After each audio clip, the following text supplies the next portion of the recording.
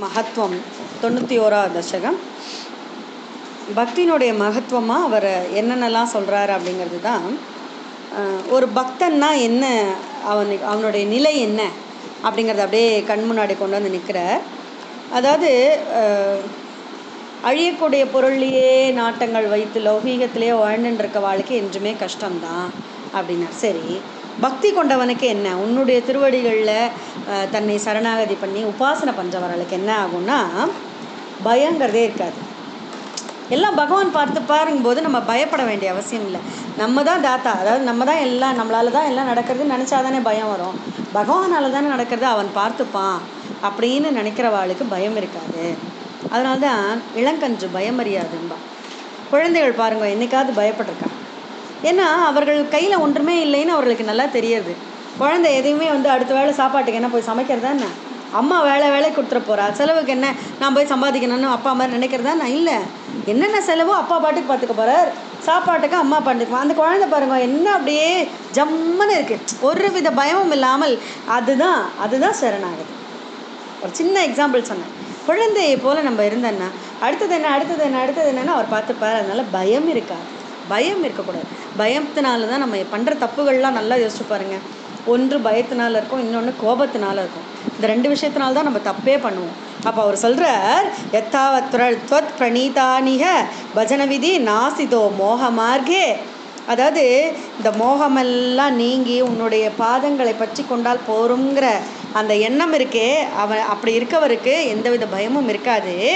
அவர் எப்படிப்பட்டவர் தெரியுமா? அந்த பக்தி மார்க்கத்தை கடைபிடித்தவர். கண்ணை கட்டி காட்டில் விட்டா கூட கீழே விழ மாட்டார்.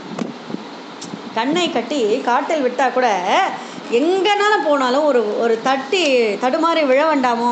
விழமாட்டார் அப்படிங்கிறார். அதாவது எந்த நேரத்துலையுமே பகவான் தான் நம்மளை தாங்கி பிடிச்சுட்டுருக்கான்றது முதல்ல முதல்ல தெரிஞ்சாதான் சரணாகதியே பண்ண முடியும். நம்ம நினச்சிட்டுருக்கோம் நம்ம காலால் நம்ம நடக்கிறோம். இல்லவே இல்லை. அவர் வந்து தூக்கி பிடிச்சி கூட்டின்னு போகிறார் அதனால அதை வந்துல சொல்லிட்டார். ஃபஸ்ட்டு தேவ தேவா அகிலாத்மன்னு. அப்படின்னு சொல்லி அதை முடித்தார் அடுத்தது சொல்கிற உன்னுடைய சக்தியினால் அதாவது உங்ககிட்ட வந்து எல்லாத்தையும் ஒப்படைச்சிடும். ஒப்படைச்சிட்டு எவன் ஒருத்தன் தன்னுடைய மனசு சொல்லு வாக்கியம் இந்திரியங்கள் எல்லாத்துக்கும் அதது விஷயமா எல்லாத்தையும் சமர்ப்பணம் பண்ணுறானோ இது ரொம்ப முக்கியமான விஷயம். உன்னிடத்தில் எல்லாவற்றையும் சமர்ப்பணம் செய்கின்றாரோ? மனசா வாச்சா தியாவா பஜதி பதஜனக சுத்ர ஸ்ம மனசினாலும் வாக்கினாலும் எல்லாவற்றினாலும் உன்னிடத்தில் சமர்ப்பணம் பண்ணுறான்னா அவன் எப்படிப்பட்டவன்னா சண்டாளனா கூட இருந்துன்னு போட்டான் பிறப்பினால். ஆனால் அவன் தூய்மையாகி விடுகின்றான். இன்னொரு எக்ஸ்ட்ரீமாக சொல்கிறேன் அதாவது இதுதான் என்ன சொல்கிறது ஒரு பெரிய ஸ்ட்ராட்டஜி அதாவது பெரிய அந்தன குலத்தில் பிறந்தவன் ஒருத்தன் சண்டாளன் ஒருத்தன். அதாவது பஞ்சம குலத்தில் பிறந்தவன் ஒருத்தன் ரெண்டு பேரை கம்பேர் பண்ணுறான் இந்த சண்டாள குலத்தில் பிறந்தவன் எல்லாமே பகவான் தாம்பான்னு சமர்ப்பணம் பண்ணவன். என்னன்னா தூய்மையான மனிதனாக ஆகிவின்றான் அதே இந்த உயர்குலத்தில் பிறந்தவன் என்ன பண்ணுறான் தன்னுடைய அதாவது தன்னுடைய பிழப்பு தான் இது. மனசார பகவானை பக்தி பண்ணாமல் தன்னுடைய பிழைப்புக்காக நடத்துகின்றானே அந்த ஜீவனம். அப்படிப்பட்டவன் சண்டாளனை விட தாழ்ந்தவனாக கருதப்படுகின்றான் அப்படிங்கிறார் இன்னும் ஒரு படி மேலே போய் சொல்கிறார் அந்த காலத்துலலாம் எப்படின்னா அதாவது எந்த விஷயமே இது இன்னும் ஒரு ஒரு ரெண்டு தசகம் தள்ளி செல்வார். பெண்களும் சரி சூத்திரரும் சரி கோவிலுக்குள்ளே அனுமதி இல்லைல்ல. நான் சொல்கிறது பதினாறாவது செஞ்சுரியில் சொல்கிறேன் அப்படிப்பட்டவர்கள் அவர்கள் இருந்த இடத்துல இருந்து பக்தி பண்ணாலே அதை நீ ஏற்றுக்கிறப்ப உன் பக்கத்தில் நின்றுட்டு உன்னை நினைக்காம ஏதோ கடனுக்காக பூஜை பண்ணுறானே அவனுடைய பக்தியை நீ ஏற்பதில்லை என்பர். இன்னும் ஒரு ரெண்டு தசகம் போனால் அதையும் அழகாக எக்ஸாம்பிளாக சொல்லுவேன் இதில் மூன்றாவது த ஸ்லோகத்தில் சொல்கிற அச்சம் அதாவது பீத்திர் அச்சம் வர்றது என்னென்னா தன்னிடத்துலேருந்து மற்ற விஷயத்தை வேறுபட்டதாக நினச்சாதான் அச்சம். இப்போது ரெண்டாவதாக சொல்கிற விஷயம் என்ன? கற்பனை தான். இப்போ ராத்திரி நடந்து போகிறோம் தூரத்தில் ஏதோ ஒன்று கிடக்கு நம்ம நினச்சிட்ருக்கோம் பாம்புன்னு நினச்சிட்டு இருக்கோம் ஆனால் அது கயிறு தான். நம்ம கிட்ட இல்லை அது வெளியில் இருக்க பொருள் நம்மளா அது ஊகம் பண்ணிக்கிறது. அது பாம்பாக இருக்குமோ பாம்பாக இருக்குமோன்றது என்ன? அது நம்மளா ஊகம் பண்ணிக்கிறது. ஆனால் அது பாம்பே இல்லை. ஆனால் அது அச்சத்தை கொடுக்கின்றது மனசுக்கு. அதுக்கு இவர் சொல்கிற இந்த மனசை ஒன்றுபடுத்தி அதை கட்டுப்படுத்தி பகவானே உன்னிடத்துல கொடுத்துட்டேன்னா அதுக்கப்புறம் எனக்கு இந்த அச்சம்லாம் இல்லை. கண்ணை கட்டி காட்டில் விட்டாலும் நான் தைரியமாக போயிடுவேன். அப்போ மனதை ஒருமுகமாக ஒரு இடத்துல நிற்கணும்னா அது பக்தியினுடைய முதல் ஸ்டெப்பு ஏன்னா மனசு அலப்பாஞ்சுட்டே இருக்கு இல்லையா? ஒருமுகமாக ஒருபடுத்தி நிற்கிறதுக்கு தான் தியானம்னு சொல்கிறோம் அஃப்கோர்ஸ் அஷ்டாங்க யோகத்தில் வர்றது யமா நியமா ஆசனா பிராணாயாமம் பிரத்யாகாரம் அதெல்லாம் பண்ணலைனாலும் நம்ம ஒரு தியானம் பண்ணுறோம் உட்காந்துன்னா மனசை ஒருமுகப்படுத்துதல். அதுக்கு அவர் சொல்கிறார் இந்த பக்தியினுடைய படிக்காக இதெல்லாம் சொல்கிறார் அது என்னென்னா பகவானிடத்துல அப்படியே மனசை வந்து கலைக்காமல் அவரிடத்துல கண்டினியூஸாக அவர் காப்பாற்றுவார் அவர் காப்பான் திடமான நம்பிக்கை இருப்பவனுக்கு பயம் என்பது என்னன்னே தெரியாதுங்க. அப்போ என்ன ஆயிடுது? இது வந்து ஈக்குவேஷன் மாதிரி. பயம் இல்லாதவன் அதாவது ஒரு தைரியமாக இருக்கவன்னா அது நாசிகன் இல்லை ஆசிகன் தான். பகவானை சரணாகதி அடைந்தவன் பயம் என்பதை என்னன்னு தெரியாது எனக்கு எனக்கு ஒரே பயமாக இருக்குங்கிற வார்த்தையே வராது அப்படிங்கிறார். அடுத்தது சொல்கிறார் நான்காவது. ஒருத்தன் வந்து நல்ல செல்வமெல்லாம் சே- சேர்த்தான்னா அவன் செல்வம் செல்வம் மிகுந்தவன். அது ரிச் மேன் அப்படின்னு நம்ம சொல்கிறோம் ஆனால் உன்னுடைய அந்த உன்னுடைய சரண கமலத்தில் பக்தி வைத்திருப்பவன் இருக்கானே அவன் என்னன்னா சச்சங்கத்தினால புண்ணியம் செய்த அந்த புருஷர்களுக்கு மட்டும்தான் உன்னுடைய சரணகமலத்தில் இருக்கின்ற பக்தி கிடைக்கும். சத்சங்கத்தை நிசங்கத்துவம் நிசங்கத்தை நிர்மோகத்துவம் நிர்மோகத்வே நிஷலதத்துவம் தத்துவம் ஜீவன் முக்தி சத்சங்கத்தினால தான் அந்த புண்ணியம் கிடைக்கும். அதுக்கு அவர் என்ன சொல்கிறார் மாசாத்திய புண்ணிய பாஜாம் ஸ்ரீ இவ ஜெகதி ஸ்ரீமதாம் சங்கமேன. ஒத்தரா உட்கார்றதுனால இல்லை. பத்து பேர் உட்காந்துட்டு பகவான் நாமா சொல்ல சொல்ல சொல்ல அந்த பாசிட்டிவ் வைப்ரேஷன்ஸ் இவா சொல்கிறா அவ சொல்கிறா எனக்கே வராது எனக்கும் அந்த பக்தி வருங்கிறது முதல்ல அந்த செல்ஃப் கான்ஃபிடென்ஸ் வரும். ஒரு சத்சங்கத்தினால அதை அவர் சொல்கிறார் அப்படிப்பட்ட சத்சங்கம் எனக்கு இருக்கட்டும்னு இவர் சொல்கிறார் யார்? பட்டத்ரி கோவிலில் உட்காந்துன்ட்டு குருவாயூரப்பன் முன்னாடி உட்காந்துன்ட்டு அவர் சங்கமமாக யார்கிட்ட இருக்க தெரியுமா? நம்மள மாதிரி மனுஷா கிட்ட இல்லை குருவாயூரப்பன் கூட இருக்கார். ஒரு ஒரு ஸ்லோகம்னா அவர் ரசிச்சுட்டு இருக்கார் குருவாயூரப்பன் அங்கேயே தலையாட்டின்ட்டு. அப்படிப்பட்டவர் சொல்றார் தத் சங்கோ தேவ பூமியான் மம கல்லு சத்தத்தம். எப்பொழுதுமே எனக்கு சத்தத்தை கொடுப்பா குருவாயிரப்பா அப்படிங்கிறாருன்னா எவ்வளோ பெரிய விஷயம் பாருங்க அது தன்முகாத்து அதுனா துவன் மாஹாத்மியம் பிரகாரை பவதி சத் சுதுருடா பக்தி ருத்தூட பாபா. அந்த பாப்பங்கள் எல்லாம் போயிடும். பக்தி ஒன்று வந்தால் போகிறேன் அந்த திடமான பக்தி எனக்கு உண்டாகட்டும். அப்படிங்கிறார். அடுத்து சொல்கிறார் ஸ்ரயோ மார்கேஷு பக்தாவதிக பகுமதி ஜன்ம கர்மானி போயோ. பக்தி யோகத்தினால தான் நம்ம வந்து மோட்சத்தை அடைய முடியும். ஏன்னா இவர் முன்னாடியே கம்பேர் பண்ணிட்டார். கர்ம யோகத்தினையும் ஞான யோகத்தையும் பண்ணிட்டு என்னால் அதெல்லாம் முடியாது. பக்தி யோகத்தினால் உன்னை வந்து அடைவேன்னு சொன்னார். அது அடையிறவர் என்ன பண்ணுவா அப்படின்னா காயான் ஷேமானி நாமானி அப்படி ததுபரிய உன்னுடைய நாமங்கள் சொல்வா ஃபஸ்ட்டு அடுத்தது பிரதுருதம் பிரதுருத்தாத்மா உத்யத்தாச கதாச்சித் குகசித விருதன் பாபி கர்ஜன் பிரகாயன் உன்மாதவ மாதீவ பிரவர்ணதபி குரு கருணாம் லோக பாஷ்ய ஸ்ரேயம். அதுதான் அவர் சொல்கிறார் உன்னை வந்து நினைக்கணும் முதல்ல. நாமா சொல்லணும். உருகி உருகி உன்னுடைய நாமாவை சொல்லி பாடணும். இதுதான் பக்தி ஸ்ரவணம் கீர்த்தனம் விஷ்ணு தியானம் இல்லையா?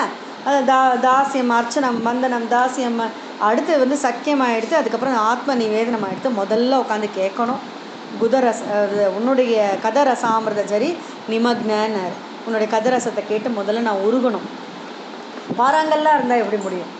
இல்லையா மனம் செல்லதா ஏன் அவளுக்குலாம் கல் மனசும்பா? சொல்கிறவாளுக்கு என்னன்னு நமக்கு தெரியாது. மற்றவாளை சொல்லுவா கல் மனசு அப்படின்பா கல் மனசு நீ ஏன் சொல்கிறா அவ இழக மாட்டேங்க. உருக மாட்டேங்கிறான் உருகா உருகலைன்னா என்ன என்ன பிரயோஜனம்? அதுக்கு அவர் சொல்கிறார் உன்னை நினைத்து மனமுருகி நான் சில நேரத்தில் சிரிச்சுண்டோம் சில நேரத்தில் அழுதுண்டோம் பகவானை நினைத்து கொண்டோம் அவருடைய சிந்தனையிலே மூழ்கி கொண்டும் அவருடைய கீர்த்தனைகளை பாடிக்கொண்டும் அவருடைய நாமா சொல்லிக்கொண்டும் இருக்க வேண்டும். இது பக்தியினுடைய லட்சணமாக பக்தி யோகத்தில் ஸ்டெப்ஸ் சொல்கிறார் நமக்கு. ஆச்சா இப்படிப்பட்டவனாக இருக்கணும்னு நீ ஆசீர்வாதம் பண்ணு. இவர் இவருக்காக பர்சனலாக கேட்டுட்டு இருக்கார். அடுத்த ஆறாவதுல சொல்கிறார் பஞ்சமகா பூதங்கள் எங்கேருந்து தோன்றின? அதுக்கப்புறம் பைசஸ் ஆம்ஃபிபியன்ஸ் இந்த டார்வின்ஸ் தேரி இருக்கு இல்லையா? ஓர் உயிர் ஈர் உயிர் மூன்று உயிர்னு அப்படி வருது. ஆறு அறிவு மனிதன். அப்போது இது எல்லாம் வந்து பகவானே உன்னுடைய ரூபமாக பார்க்கும். ஈஷாவாஸ்யம் இதம் சர்மம் உபநிஷத்தில் முதல் ஈஷாவாசிய உபநிஷத்தில் என்ன சொல்கிறா எல்லாமே ஈஷனாக பார்த்தா அச்சேத்தன வஸ்து சேத்தன வஸ்து உயிருள்ள இருக்கிறது நடக்கிறது நட சாவர ஜங்கமம் அசையிறது அசையாது எல்லாத்தையும் பார்த்தா பகவானே உன்னுடைய ரூபமாக இருக்க இதுக்கு ஒரு எக்ஸாம்பிள் சொல்லணும்னா அதாவது இது இதோடைய அவருடைய பிரேரணை எதனால் வர்றதுன்னா ஸ்ரீ சுகாச்சாரியர் தான் பாகவதத்தை சொல்லிகிட்டு இருக்கார் இல்லையா?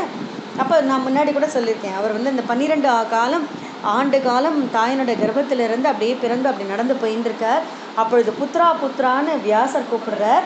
அவர் திரும்பி பார்க்கல மரங்கள் எல்லாம் என்ன கூப்பிட்டியான்னு கேட்டுக்கான் அப்போ அவர் நடந்து போயின்னு இருக்கறச்சே அந்த வாத்தாவரன் இருக்கே அந்த என்டையர் இதுவும் அவர் மயமாகவே ஆயிடுதான் அதான் பிரம்மமயம் அதான் பிரம்ம ரிஷிங்கும் பிரம்மமயமாக ஆயிடுது. அப்படியே அப்படிப்பட்டவராக மூழ்கியிருக்காருன்னா என்ன அர்த்தம்?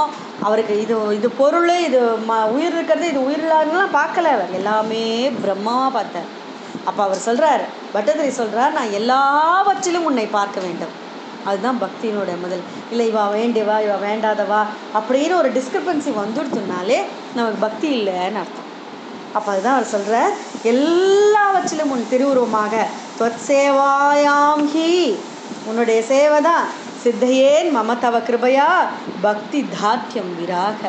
உறுதியான அந்த பக்தி வேணும்ப்பா எனக்கு. எல்லாவற்றிலும் உன்னை பார்க்க வேண்டும் அப்படிங்கிறார். அடுத்து அதனால்தான் வைராக்கியம் வரும். பக்தி ஞான வைராக்கியம் சித்தத்தம் தான் சொல்லுவாங்க. ஏன்னா பக்தி ஒன்றினால ஒன்றும் முடியாது. ஞானம் இருக்கணும் வைராக்கியம் இருக்கணும். அதெல்லாம் எதனால் வரும்னா பக்தியில் நம்ம திடமாக உறுதியாக இருந்தோம்னா ஞான வைராக்கியம் ரொம்ப உற்சாகமாக இருக்கும். அதனால தான் இந்த கலியுகத்தில் வந்து பக்தி இளமையாக இருக்குது ஞானம் வைராகியம் வயசானவா மாதிரி படுத்துட்டு இருக்கு பக்தியோட மடியில். பாவத்தோட முதல் பிளாட்டை அப்படி தானே ஆரம்பிக்கிறது. ஏன்? பக்தின்னு நம்ம நினச்சிட்டு இருக்கோம் அந்தந்த நாளில் கோவிலில் போய் அதெல்லாம் பண்ணால் பக்தின்னு நினச்சிட்டு இருக்கோம். அந்த ஞானம் வைராகியம் வர்றதுங்கிறது ரொம்ப கஷ்டம். அதெல்லாம் எப்படி வரும்னா பகவானையே எல்லாவற்றையும் பார்க்கறதுனால. அதுக்கு தான் அடுத்தது ஏழை சொல்கிறார் உன் இடத்துலையே என் மனசு ஒட்டிக்கணும். என் மனசு என்ன பண்ணும்? ராமகிருஷ்ண பரமஹம்சர் சொன்ன மாதிரி தான் நம்ம மனசு. அவர் ரொம்ப அழகாக ஒரு எக்ஸாம்பிள் சொல்லுவார். ஈ என்ன பண்ணுமா? நல்ல லட்டு வச்சுருப்பா ஒரு தட்டு நிறைய வச்சுக்கோங்களேன். அது பக்கத்தில் கொஞ்சம் குப்பை இருக்கு. நான் முதல்ல குப்பையில் போய் உட்காரான் லட்டில் போய் உட்காராது. நம்ம மனசு அப்படி தான் போய் முதல்ல உட்காந்துன்றோம் சின்ன எக்ஸாம்பிள் என்னென்னா இப்போ கோவிலுக்கு ஒருத்தன் ஒரு ஒரு ஃப்ரெண்டு வரா. அஹ் எப்பயுமே வந்தா என்ன எப்படி கேள் அப்படின்னு பேசுவா. ஒரு நாள் நம்மளை பார்த்து பேசாமல் மூஞ்சி திருப்பின்னு போயிட்டா. அப்படின்னா உடனே நம்ம மனசு என்ன சொல்ல திருப்பா நேற்று யாரோ நான் அவட்ட எதனா பேசிருப்பாளோ என்னை பற்றி இத்தனை நாள் சிரிச்சவன் ஏன் என்னை பற்றி சிரிக்க சிரிக்கல? நெகட்டிவாக தான் போகும். பாவம் அந்த மாமி கவனிச்சிருந்துக்க மாட்டா. இல்லை வேறு ஏதாவது சந்தர்ப்ப சூழ்நிலையாக இருக்கும். ஆனால் என்ன ஆகும்? என்னை பற்றி யாரான ஏதாவது சொல்லியிருப்பாளோ? ஏன் அவள் என்னை பார்த்தா என்ன அவளுக்கு இவ்வளோ கர்வமாயிடுதோ என்ன இப்போ எனக்கு கண்ணு தெரியலையோ? இப்படி தானே போகும் மனசு. நல்லத்தனத்தமாக போகாது. அப்போ மனசெல்லாம் எதுலேயோ போய் ஒட்டிக்கிறதே அதை வந்து கொண்டு போய் பகவானே உன்னிடத்துல ஒட்டிக்கிறது அதுதான் அவர் சொல்கிறார் சிந்தா சாத்திய நே முகியன் சுத்ருடாய் திருடாத்தியை ப சரணி பவை துவன் நிலீநாசயத்வாச்சு உன்னிடத்தில் நிலீயமாக ஆகணும். அப்படியே கலந்துடணும். எப்பயும் சொல்கிற மாதிரி காஃபியில் சக்கரை போடுற மாதிரி. அப்படியே கலந்துடணும். ஒன்றா கலந்துடணும். அப்போது அதுக்கு அவர் சொல்கிற எல்லார்கிட்டையும் அதாவது பசிதாகம்லாம் வரும். மனசை வந்து சொல்லும் இல்லை ரொம்ப நாளையாக கேட்டுருக்கோம் போர் அடிக்கிறதோ அப்படின்லாம் சொல்லும். இல்லை வெளியில் என்னன்னு பாருன்னு சொல்லும். மனசு நம்மளை பிடிச்சி ஏதோ டைவர்ட் பண்ணிகிட்டே இருக்கும் பாருங்களேன். அதெல்லாம் விட்டுட்டு பகவானே உன்னிடத்துல அப்படியே ஒரு சேர இருக்கணும். அதான் அவர் சொல்கிறார் எனக்கு பிரியமான சொல்லு அப்பிரியமான சொல்லுங்கிறதெல்லாம் மாயை. மாயையினால தானே ரெண்டத்தையும் ஒரே மாதிரி நினச்சிக்கணும். நம்மளை நிந்திச்சாலும் சரி நம்மளை வாழ்த்தினாலும் சரி அதை ஒரே மாதிரி நினச்சிக்கணும். அது கூட நான் எப்பொழுதுமே ஒரு எக்ஸாம்பிள் சொல்கிறேன் கண்டாகர்ணன் மாதிரி நம்மளை பற்றி யாரானா சுதி சொல்கிறான்னா வெளியில் தலையாட்டிக்கலாம் மனசுக்குள்ளே தலையாட்டிக்கணும் ஏன்னா அது காது வழியாக போயிடுச்சுன்னா அது மனசு போயிடும். மனசு போனால் உடனே அகம்பாவம் வந்துடும் அதனால் எல்லா இதான நம்மளை பற்றி நல்லது சொன்னாலும் தலையாட்டிக்கணும் உள்ளேயே. அப்போ வந்து வேண்டாம் உள்ள மனசில் ஏறக்கூடாது அப்புறம் கர்வமாயிடும். அதே நம்மளை பற்றி நிந்திச்சான்னு வச்சுங்களேன் அப்பயும் தலையாட்டிக்கணும். ஏ ஏதோ சொல்லிட்டு போகிறா நம்ம மனசில் போட்டுக்க வேண்டாம். அப்புறம் அது விரோதமாயிடும். இல்லையா? அதெல்லாம் தான் சின்ன சின்ன விஷயங்கள் பாருங்கள் அது நம்மளை நிறைய இதெல்லாம் நீங்கள் வந்து ப்ராக்டிஸ் பண்ண ஆரம்பிச்சேன்னா அவ்வளவு நம்மளை பண்படுத்துவோம் இந்த மாதிரி. அடுத்தது வந்து எல்லா உயிர்லேயும் பகவானே நீ தான் இருக்க அப்படிங்கிறத தெரிஞ்சுக்கிறதுக்குள்ள நமக்கு ஒரு தகுதி வரும். எல்லாருக்கும் தெரியாதாண்ணா ஈஷாவாசம் மிதம் சரவணம் எல்லாருக்கும் தானே இல்லையே? அதெல்லாம் தெரிஞ்சுக்கணுன்னாலே முதல்ல ஒரு தகுதி வேணும். அதுக்கு தான் பகவான் நம்மளெல்லாம் சூஸ் பண்ணுறான் நம்ம எங்கெங்கேயோ இருக்கோம். நம்மளையெல்லாம் ஒரு சூஸ் பண்ணி இந்த இதை கேளு. இதை பண்ணு இந்த படி இதெல்லாம் பகவான் பண்ணுறார் அப்போ என்ன பண்ணால் நம்ம உஷாராயிடணும் ஓஹோ நம்ம படிக்கிறோம் நம்ம இது பண்ணுறோம் அதோட முடிஞ்சது புக்கை எடுத்து வைக்காம என்னெல்லாம் படித்தோமோ அதை வந்து நம்ம வந்து கற்க கசடர கற்றவை அதுதான். நிற்க அதற்கு தக. அதுதான் கத் கற்றுக்கிறதோடைய விசேஷம் அதுதான். அப்போ அவர் சொல்கிற உன் பக்தர்கள்கிட்ட பக்தியோடவையும் உங்ககிட்ட பக்தியே இல்லாதவா முட்டாள். அப்படின்னா சி பாவா அவளுக்கு அவ்வளோதான்ப்பா தெரியும். அப்படின்னு கருணையோடையும் இருக்கணும். இது எவ்வளோ பெரிய விஷயம்? நம்ம என்ன நினச்சிப்போம்? ஐயோ அது இது ஞான சூன்யம் விடு அப்படின்னு. அப்போ தெரியாதவன் மேலே கோபம் தான் வரும் நமக்கு. யூஸ்வலாக மனுஷர்களுக்கு. அந்த நேரத்தில் கோபம் வரக்கூடாது கருணை வரணும். பாவம் அவளுக்கு தெரியல. இதுக்கு தான் நான் சின்ன எக்ஸாம்பிள் எப்பொழுதுமே சொல்கிறது அனிமா மகிமான்ற சித்திகள் அஷ்டமா சித்திகள். ஆக்சுவலாக சொல்லுவார் முதல்ல தசகத்திலே ஐஸ்வர்யம் சங்கராதீஸ்வர விநியமனம்னு சொல்லுவார் இல்லையா? அப்போ பகவானே ஒரு இடத்துல பக்தி என்னன்னா அஷ்டமா சித்திகளும் லைனில் வந்து நீ என்னை எடுத்துக்கோ எடுத்துக்கோங்கம்மா. நம்ம உட்காந்துட்டு என்ன அஷ்டமா சித்தி கொடு அப்படின்லாம் உட்காந்து பிரார்த்தனை பண்ண வேண்டாம். உன்னுடைய பக்தர்களுக்கு அத்தனை விஷயம் அப்படி லைனில் வந்து நின்றுடுறோம். அப்போ அதெல்லாம் பெரிய விஷயமாவே படாது. அந்த அனிம மகிமான நம்ம என்ன நினச்சிருக்கோம்? ஓ கூடு விட்டு கூடு போயிடுது ஆ ரமண மகர்ஷி பண்ணார். அவர் நமக்கெல்லாம் சித்தர்கள் இதெல்லாம் அப்படியே அப்படியே ஒரு ஃபேஷன் மாதிரி இருக்கும். இன்ஃபாக்சுவேஷன் மாதிரி அப்படியே இதுவாக இருக்குமோ அதுவாக இருக்குமோ நம்ம அப்படிலாம் ஆகிடுவோமோ அப்படிலாம் கூட தோணும். அதுக்கு என்னென்னா அனிமானா தன்னை சுருக்கி கொள்வது மகிமானா தன்னை விரிவடைய செய்யறது. சுருக்கிக்கிறது என்னென்னா நல்ல விவரம் தெரிஞ்சவா இருந்தேன்னா "ஆ, நாராயணமா அதெல்லாம் நான் முடிச்சிட்டேனே அப்படின்னு சொன்னேன்னா உனக்கு ஏதாவது விஷயம் சொல்லணும்னு வர்றவா? ஓ அவளுக்கு தெரியும் போல் இருக்குன்னு வச்சு போயிட்டே இருப்பாள் அப்போ நம்ம பாதி நிரம்பிய கோப்பையாகவே இருக்கணும். அப்போ தான் அதில் எதானே ஒழிக்க முடியும். அதில் ஊற்ற வேண்டாமா தானா நம்மள எல்லாம் தெரிஞ்சு தழும்பி நின்றோன்னு வச்சுங்களேன் அதுக்கப்புறம் என்ன உள்ளே ஏறும்? நிறைய கற்றுக்க வேண்டியிருக்கு. வாழ்க்கையில் நிறைய கற்றுக்க வேண்டியிருக்கு. அப்போ நம்ம சுருக்கிக்கணும். அதே மகிமா நல்ல பெருசாக விரிவடனை எப்படி ஆஞ்சநேயர் வந்து விஸ்வரூபம் எடுத்தார் அதே போல் இந்த மாதிரி அஞ்ஞானத்தில் வாழ்ந்துட்டுருப்பா பாருங்க. அவளுக்கெல்லாம் என்ன விஷயம் தெரியும்? ஒன்றுமே தெரியாது. அவர்களுக்கு நித்தியப்படி என்னென்ன கர்மா பண்ணணுமோ அதை பண்ணிட்டு போயிட்டே இருப்பா. அவர்களுக்கு நல்ல விஷயத்த போதனை பண்ணும். ஏதோ ஒரு வே- வீட்டு வேலைகள் செய்கிறவங்க இருக்கட்டும் ஏதோ ஒருத்தர் இருக்கட்டும். இப்போ எல்லாருமே பண்பட ஆரம்பிச்சிடான்னு வச்சுங்களேன் மீடியா நிறைய வந்துடுது. இருந்தாலும் நம்மளுடைய கடமை இல்லைம்மா இது இப்படி பண்ணக்கூடாது. காலம்பரம் எழுந்தியா குளிச்சுட்டு நீ போ சமையல் அறைக்கு. அப்போ தான் ஐஸ்வர்யமாக இருக்கும். சின்ன சின்ன விஷயங்கள் சின்ன சின்ன விஷயங்கள். அந்த நேரத்தில் நம்ம விரிவடையும். அதுதான் அவர் சொல்கிறார் எனக்கு தகுதியே இல்லைனாலும் உங்ககிட்ட பக்தியை கொடு. உங்ககிட்ட பக்தியே இல்லாத மூடர்கள்ட்டையும் கருணையை கொடு. அப்படிங்கிற அடுத்தது உன்னுடைய உருவத்தை ஸ்ரத்தையோடு பூஜை பண்ணணும். பக்தினா பூஜை பண்ணுறது இல்லையா? அதுக்கு அவர் சொல்கிறார் அடுத்து ஒன்பதாவதுல நீ உன்னுடைய உருவமாகவே நிலம் நீர் நெருப்பு காற்று பஞ்சபூதங்களும் நீதான். அந்த அந்த சக்தியை வச்சுன்னுட்டு நிறைய வில விஷயங்கள்லாம் நம்ம செஞ்சுட்டுருக்கோம் நம்ம உடலில் தானே இருக்குது பஞ்சபூதங்கள் சேர்ந்தது தானே. பிரகிருதி மாயா இந்த ரெண்டும் சேர்ந்தது தான் புருஷன். பிரகிருதி மாயை இந்த ரெண்டும் சேர்ந்தது தான் பு புருஷன். என்ன மாயைன்னா நான் தான் எல்லாம் நினச்சிட்டு இருக்கிறது தான் மாயை. பகவானே நீதான் எல்லாங்கிறது சரணாகதி ஆயிடுறது. பிரகிருதிங்கிறது இயற்கை. இயற்கையும் மாயும் சேர்ந்ததாகிற ஒரு புருஷன். அப்போ நம்ம இதை முதல்ல புரிஞ்சுக்கணும். என் உள்ளேயும் இந்த பஞ்சபூதங்கள் இருக்குது பிரகிருதி இருக்குது மாயையினால் பகவான் உள்ள அந்தர்யாமி இருக்கிறத பார்க்க முடியல. அதுதான் அந்த விஷயத்த புரிஞ்சுக்கணும். அந்த மாயையிலேருந்து என்னை காக்கிறதுன்றது யார் தெரியுமா? உன்னுடைய சரண கமலங்கள் மட்டுமே. பவதங்கிரி.